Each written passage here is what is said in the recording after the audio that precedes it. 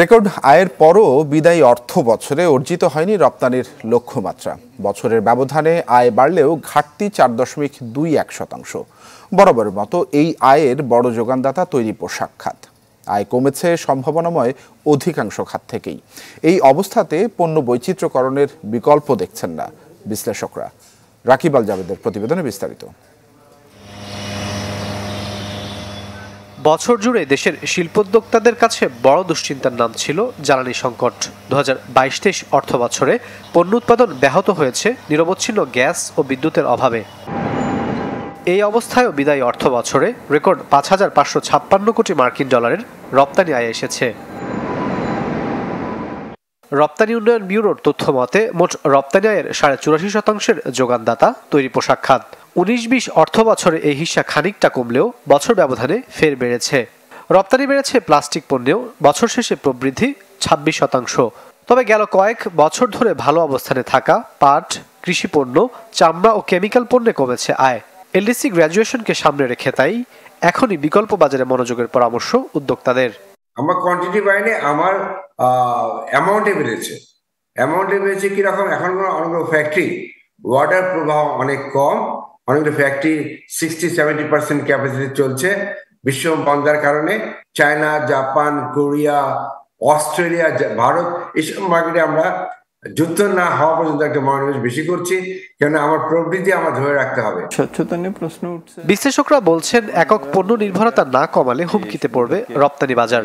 উদ্বেগ জানালেন সম্ভাবনাময় খাতে রপ্তানির পতনে। সুতরাং একটা জায়গায় এই যে কনসেন্ট্রেশনটা এটা আমাদের যে ডাইভার্সিফিকেশনের দৃষ্টিভঙ্গি থেকে দেখলেও এটা কিন্তু খুব ভালো একটা কোনো চিত্র আমাদেরকে দিচ্ছে না। বিজিএমই এর সাথে ইপিবির একটা দেখা যায় বৈষাদ্যের দৃশ্য তথ্য উপাত্তের।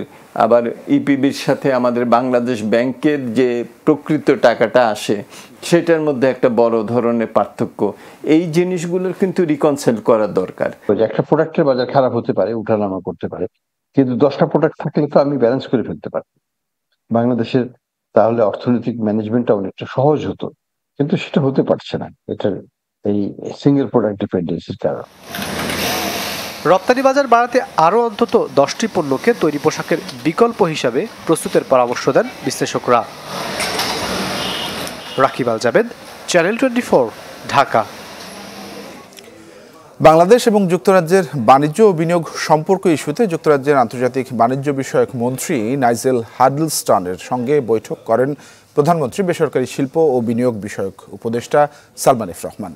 বুধবার রাজধানীর আগারগাঁওয়ে বাংলাদেশ বিনিয়োগ কর্তৃপক্ষ ভবনে বৈঠক শেষে হার্ডল স্টন জানান কর্মসংস্থান সৃষ্টি এবং উভয় দেশের অর্থনীতি বিকাশে বাংলাদেশের সঙ্গে কাজ করতে প্রতিশ্রুতিবদ্ধ যুক্তরাজ্য। আর সালমান এফ রহমান জানিয়েছেন, জিএসপির পর ডিসিটিএস স্কিম বাংলাদেশ যুক্তরাজ্য বাণিজ্যের নতুন সম্ভাবনা দেখাবে। দুই দেশের মধ্যে বাণিজ্যিক সম্পর্ক উন্নয়নে ঢাকা সফর করছেন যুক্তরাজ্যের আন্তর্জাতিক বাণিজ্য বিষয়ক মন্ত্রী। Processes to make it easier to trade, um, things like rules of origin and so on. So we really hope that Bangladesh will uh, be able to benefit from it. And one of my jobs and one of the purposes of being here is to spread the news about that because we want businesses to engage in it and make use of that. কাঁচামরিচের দাম তদারকিতে রাজধানীর দুটি বাজারে মধ্যরাতে অভিযান চালিয়েছে জাতীয় ভোক্তা অধিকার সংরক্ষণ অধিদপ্তর। দুটি দলে ভাগ হয়ে এটি পরিচালনা করেন তারা। অভিযান শেষে জানিয়েছেন, কাঁচামরিচের অস্বাভাবিক দাম বৃদ্ধির কারণ আড়তদারদের মুনাফালোভী মনোভাব। ওজনে হালকা হলেও দামে বেশ ভারী। বাজার জুড়ে এখনও চলমান কাঁচামরিচের ঝাঁঝালো দাপট। শোরগোল ছাপিয়ে কিছুটা উঠেও এলো সেই ঝাঁঝের হাপিত্তেশ। মানে দাম দাম আসলে কেমন বেশি? কত বেশি দাম? অনেক বেশি পনেরোশো টাকা কেউ চায় সতেরোশো টাকা। আমাকে তো কষ্ট আমরা বেসমুখার কাছে নিয়ে। কেউ এক চায় দশ টাকার দাও কেউ এক হয় দুইটা মরিচ দাও কেউ এক হয় পাঁচটা টাকার মরিচ দাও একটা ডিম বাজমো। শুধু খুচরা ব্যবসায়ী তো নয় কাঁচামরিচের এমন চড়া দামের মাসুল গুনতে হচ্ছে সাধারণ মানুষকেও। সে ঝাঁজ কমাতেই রাতভর জেগে থাকা কারওয়ান বাজারে বৃহস্পতিবার রাতে ভোক্তা অধিকারের এই নৈশ অভিযান। দেশি মরিচটা আমরা দেখলাম একজন বলছেন তিনশো টাকা একই মরিচ তার ভাগ্নে বলছেন কত? তিনশো বিশ টাকা। আবার হ্যাঁ আর একজন বলছেন যিনি ব্যাপারী এখানে আড়তদার উনি বলছেন তিনশো পঞ্চাশ টাকা। অর্থাৎ কারসাজিটা কোথায় করা হচ্ছে এই বিষয়টা আমরা মূলত খতিয়ে দেখার জন্য মূলত আমাদের আজকের এই তদারকি। এ সময় পাইকারদের কাছে ক্রয় বিক্রয়ের খতিয়ান না থাকার অভিযোগ তোলেন তারা। বলেন সরেজমিন তদারকি শেষে দাখিলকৃত প্রতিবেদনের উপর ভিত্তি করেই নেওয়া হবে পরবর্তী পদক্ষেপ। হ্যাঁ আজকে আমরা এই যে তদারকি দিনেও করা হয়েছে রাত্রে যেটি করলাম এর ভিত্তিতে আগামীকাল আমরা একটা প্রতিবেদন দেবো। এরপরেই মূলত পরবর্তী যে স্টেপ দ্রুত সময় দ্রুততম সময় হবে। আগামীকালে আমরা যদিও পাইকাররা বলছেন আমদানি বাড়লেই কমে যাবে কাঁচামরিচের দাম তবে ভোক্তা অধিকারে ভোক্তার প্রশ্ন। এমন অভিযানে কতটুকুই বা নিয়ন্ত্রণে আসবে বাজার? Nil Mahbub channel twenty Dhaka. দর্শক, অভিযানের পর আজকের বাজার পরিস্থিতিটি আসলে কেমন? সেটি আমরা জানবার চেষ্টা করব। আমাদের সহকর্মীরা রাজধানী ঢাকা এবং ঢাকার বাইরে থেকে আরও দুজন সহকর্মী আমাদের সঙ্গে যুক্ত হবেন। আমরা সেই বিষয়গুলো সম্বন্ধে জেনে নেব। শুরুতেই আমরা রাকিব আল জাবেদ আপনার কাছ থেকে জানতে চাই, রাজধানীর যে বাজারটিতে আপনি রয়েছেন, সেখানে দ্রব্যমূল্যের বাজার পরিস্থিতি কেমন দেখছেন? কালকে অভিযান চালানোর পরে আজকের পরিস্থিতিটি আসলে কেমন? তানবীর গতকালকে যে অভিযানটি পরিচালিত হয়েছিল সেটি হচ্ছে মূলত পাইকারি বাজার যে, অর্থাৎ কারওয়ান বাজার অভিযানটি পরিচালনা করা হয়েছে। এই মুহূর্তে রয়েছে আমি মহাখালী কাঁচা বাজারে এবং যথারীতি মরিচের যেই ঝাল, সেটা কিন্তু এখানকার যে ক্রেতারা রয়েছেন, তারা কিন্তু বেশ ভালোভাবেই টের পাচ্ছেন। পার কেজি মরিচ কিন্তু এখানে দেশি যেগুলো রয়েছে, সেগুলো চারশো টাকা এই মুহূর্তে বিক্রি হচ্ছে। অন্যদিকে ভারত থেকে যে আমদানি করা মরিচগুলো রয়েছে, সেগুলো বিক্রি হচ্ছে তিনশো ষাট টাকা করে পার কেজিতে। গেল কয়েক সপ্তাহ ধরে কিন্তু মরিচের বাজার যে এক ধরনের অস্থিরতা আমরা দেখতে পাচ্ছি, আমদানির পর কিছুটা গত সপ্তাহে কমেছিল, অর্থাৎ দুইশো বিশ থেকে দুইশো পঞ্চাশ টাকা পর্যন্ত আমরা সবশেষ নেমে আসতে দেখেছিলাম খুচরা পর্যায়ে, যেটা পাইকারিতে একশো আশি থেকে দুশো টাকা পর্যন্ত হয়েছিল। তবে আবারও কেন মরিচের বাজারটি এরকম ঊর্ধ্বমুখী সেটারই কারণ জানতে চেষ্টা করেছিল ভোক্তা অধিকার এবং যথারীতি কিন্তু সেখানে একটা স্পষ্ট অনিয়ম কিন্তু আমরা লক্ষ্য করেছি। আড়তদাররা যারা রয়েছে, তারা কেউ কেউ আসলে ভিন্ন ভিন্ন দামে কিন্তু মরিচ বিক্রি করেছেন। একটি দোকানেই কিন্তু ভিন্ন ভিন্ন কর্মকর্তা কর্মচারী এক এক দাম বলেছেন। আমরা সেটা গতকাল কারণ অভিযানের সময় আমরা দেখেছিলাম, এই মুহূর্তে আসলে মহাখালী কাঁচা বাজারে যারা বিক্রি করছেন পণ্য, তারাও কিন্তু একই কথা বলছেন। তারা পাঁচ থেকে দশ কেজি পণ্য কিনে নিয়ে আসেন। আড়তদারদের কাছ থেকে মূলত তারা কারওয়ান বাজার থেকে পণ্যগুলো নিয়ে আসেন। তারা যেমনটি বলছিলেন যে এক এক দিন এক এক ধরনের দামে তারা পণ্য কিনে নিয়ে আসেন, যার ফলশ্রুতিতে তারা ভিন্ন ভিন্ন দামে প্রতিদিন তাদেরকে বিক্রি করতে হচ্ছে। এতে কাস্টমারদের সাথে তাদেরকে প্রতিনিয়ত এক ধরনের বাগবিতণ্ডার মধ্য দিয়ে যেতে হচ্ছে এবং অনেক পণ্য কিন্তু তাদেরকে অনেক সময় নষ্টও হয়ে যাচ্ছে। এই সংকট আসলে যখন কেটে উঠতে চাই আমরা, অর্থাৎ ভারত থেকে যখনই পণ্যগুলো আমদানি হয়, তখনই দেখি যে বাজারে এক ধরনের স্থিতিশীলতা বিরাজ করে। আবার যখনই একটু আমরা দেখি যে পণ্য আমদানি বন্ধ হয়ে যায়, তখনই বাজারটা অন্যরকম একটা পরিস্থিতির মধ্যে চলে যায়। তবে এই অবস্থায় কতদিন পর্যন্ত ভোক্তাদেরকে এই কাটাতে হবে বা ভোক্তাদের উপর এই দায়ভারটা থাকবে সেটা কিন্তু একটা প্রশ্ন রেখেছেন। ভোক্তা অধিকারের এই ধরনের অভিযান আসলে কতটা কার্যকর সেটা নিয়েও কিন্তু এখানকার যারা ভোক্তা রয়েছেন, তারা প্রশ্ন তুলেছেন। তারা বলছেন, যদি বাজার নিয়ন্ত্রণ করতে যদি ভোক্তা অধিকার বা যে সমস্ত দায়িত্বশীল সংগঠনগুলো বাণিজ্য মন্ত্রণালয়ে ব্যর্থ হয়, তাহলে সরকারের অচিরে আরও মনিটরিং সিস্টেমটা জোরদার করা উচিত এবং সিন্ডিকেট যে ব্যবস্থাটি রয়েছে, সেটি পুরোপুরি ভেঙে ফেলা উচিত। তানবীর রাকিব, ধন্যবাদ আপনাকে। দর্শক, আমরা রাজধানীর খবর জানছিলাম এবারে উত্তরের জেলা নাটোরের দিকে একটু নজর দিতে চাই। দেবাশিস কুমার সরকার রয়েছেন আমার সঙ্গে, এরপর আমরা ঝিনাইদহ যাব। সাদ্দাম হোসেন আপনার কাছে। আমরা দেবাশিস, আপনার কাছে যেটি জানতে চাই নাটোরের সার্বিক বাজার পরিস্থিতি কেমন দেখছেন? তানভীর, নাটোরেও কিন্তু যে বিষয়টা প্রথম লক্ষণীয়, সেটা হচ্ছে যে দেশের বিভিন্ন স্থানে এই যে বাজার অস্থিতিশীল হবার পরে, বিগত কয়েক মাস থেকে, ঈদের পর থেকে বা ঈদের আগে থেকেও, যে বারবার জনগণের একটা চাহিদা ছিল যেন ভোক্তা অধিকার বা জেলা প্রশাসনের পক্ষ থেকে ভ্রাম্যমাণ আদালত পরিচালনা করা হোক। কিন্তু সেই ধরনের কিন্তু সারা দেশের অন্যান্য জেলায় এই অভিযান পরিচালনা হলেও নাটোরে কিন্তু সেই ধরনের কোনো অভিযান এখন পর্যন্ত পরিচালিত হয়নি। আর যেটা বিষয় সেটা হচ্ছে কাঁচা বাজারের যে অস্থিরতা, সেটা কিন্তু নাটোরে কাটেনি। মাঝের একটা দিন শুধুমাত্র একশো বিশ টাকা পাইকারি বাজারে বিক্রি হলেও একশো ষাট টাকা থেকে দুশো টাকা কেজি দরে বিক্রি হতে দেখা গেছিল কাঁচামরিচ। কিন্তু তারপর থেকে আবার যথারীতি তিনশো ষাট টাকা থেকে চারশো টাকার মধ্যেই কাঁচামরিচ বিক্রি হচ্ছে। তবে আজকে সকালে আমি পাইকারি বাজারে খবর নিয়েছিলাম, সেখানে বিক্রি হচ্ছে কিন্তু তিনশো বিশ থেকে তিনশো চল্লিশ টাকা কেজি দরে প্রকারভেদে। আর একটা বিষয়, নাটোরে কিন্তু এখনকার কৃষকের কাছে কোনো ধরনের মরিচ নেই। কৃষক উৎপাদিত কোনো মরিচ বাজারে এ পর্যন্ত আসেনি। তো তানভীর, যাই হোক, বাজার পরিস্থিতি, অন্যান্য সবজির কিন্তু কিন্তু সংকট রয়েছে। তানভীর।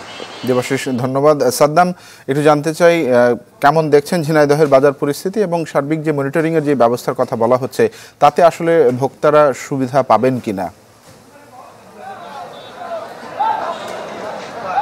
তানভীর, হঠাৎ করে কিন্তু কাঁচা মরিচের অতিরিক্ত দামে নাভিশ্বাস উঠেছে ভোক্তা ক্রেতাদের মাঝে। আমি দাঁড়িয়ে রয়েছি ঝিনাইদহের নতুন হাটখোলা বাজারে। এখানে এসে যারা কাঁচামরিচের পাইকারি ও খুচরা ব্যবসায়ী রয়েছে, তাদের সাথে কথা বলেছি। তারা বলছেন যে আসলে বাজারে মরিচের সরবরাহ আমদানি কম হয়, কিন্তু এই বাজারে মরিচের দাম বৃদ্ধি পেয়েছে। তো সপ্তাহখানেক আগেও বাজারে অতিরিক্ত আটশো থেকে সাড়ে আটশো টাকা কেজি দরে মরিচ বিক্রি হলেও আজকে কিন্তু বাজারে মরিচ বিক্রি হচ্ছে পাইকারি বাজারে চারশো পঞ্চাশ টাকা থেকে চারশো সাত টাকা কেজি দরে আর খুচরা বাজারে বিক্রি হচ্ছে পাঁচশো থেকে পাঁচশো বিশ টাকা কেজি দরে। তবে দাম আগের তুলনায় কমলেও কিন্তু ভোক্তাদের মাঝে কিন্তু স্বস্তি নেই। কেননা এই এই দামে কিন্তু ঊর্ধ্বগতির বাজারে মরিচ কিনতে তাদের বেশ হিমশিম খেতে হচ্ছে। আর বাজার মনিটরিং এর বিষয়ে মাঝে মধ্যে মোবাইল টিম, মোবাইল কোড পরিচালনা হচ্ছে। এছাড়া হলেও কিন্তু সেটি কিন্তু নিয়ন্ত্রণে আসছে না। কেননা ব্যবসায়ীরা আরও একটি কথা বলছেন যে ভারত থেকে পেঁয়াজ আমদানি হলে কিছুটা দাম কমেছিল কিন্তু আবার সেই আগের অবস্থানে চলে গেছে। তো আসলে ভোক্তাদের দাবি যে এই ঊর্ধ্বগতির বা- বাজারে কিন্তু বাজার নিয়ন্ত্রণের মাধ্যমে অবশ্যই এই মরিচের দাম আরও কমানোর দাবি করছেন ভোক্তা সাধারণরা। তো তানভীর এখানেও কিন্তু মরিচের দাম কম নেই। এই ছিল ঝিনাইদের কাঁচা মরিচের মরিচের ঝাল ছড়িয়ে পড়েছে, এমনটি আমাদের সহকর্মী জানাচ্ছিলেন। ধন্যবাদ সাদ্দাম আপনাকে আমাদের সঙ্গে যুক্ত হওয়ার জন্য। দর্শক, আমাদের সহকর্মীরা যুক্ত হয়েছিলেন রাজধানী ঢাকা এবং রাজধানীর বাইরের খবরাখবর আমরা জানছিলাম, বাজার পরিস্থিতির খবরাখবর। দেশের আর্থিক খাত সংস্কারে সরাসরি আরও ভূমিকা রাখতে চায় আন্তর্জাতিক মুদ্রা তহবিল আইএমএফ বুধবার সংস্থাটির প্রথম দিনের বৈঠকে এমন মনোভাব দেখিয়েছে কারিগরি মিশনের সদস্যরা। আর এর জন্য আরও সংস্কারের পরামর্শ দিচ্ছেন তারা। বন্ড ব্যবস্থাপনাতে পরিবর্তনের বিষয়েও আলোচনা হয়েছে বৈঠকটিতে। অর্থ মন্ত্রণালয়ের কর্মকর্তারা জানান, সংস্কারের মাধ্যমে সরকারের আর্থিক নীতি ও বাংলাদেশ ব্যাংকের মুদ্রানীতিতে সরাসরি প্রভাব ফেলতে চায় আইএমএফ মূল্যস্ফীতি কমাতে হলে আন্তঃব্যাংক ঋণ সুদ হার বাড়ানোর আহ্বান জানিয়েছে সংস্থাটির কারিগরি মিশনের সদস্যরা। আজ বৃহস্পতিবার বাংলাদেশ ব্যাংক কর্মকর্তাদের সাথে বৈঠক করবেন আইএমএফ এর প্রতিনিধিরা।